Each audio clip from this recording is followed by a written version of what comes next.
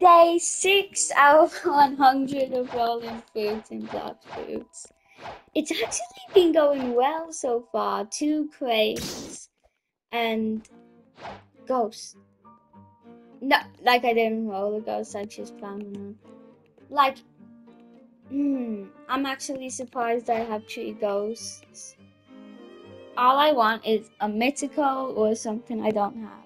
Or something I can at least store. Like, you know, Rocket or I Hate My Life. Falcon and Spring have, have been haunting me forever. I'm not even joking. It's terrible. It's so bad. Okay, let's check what's in stock.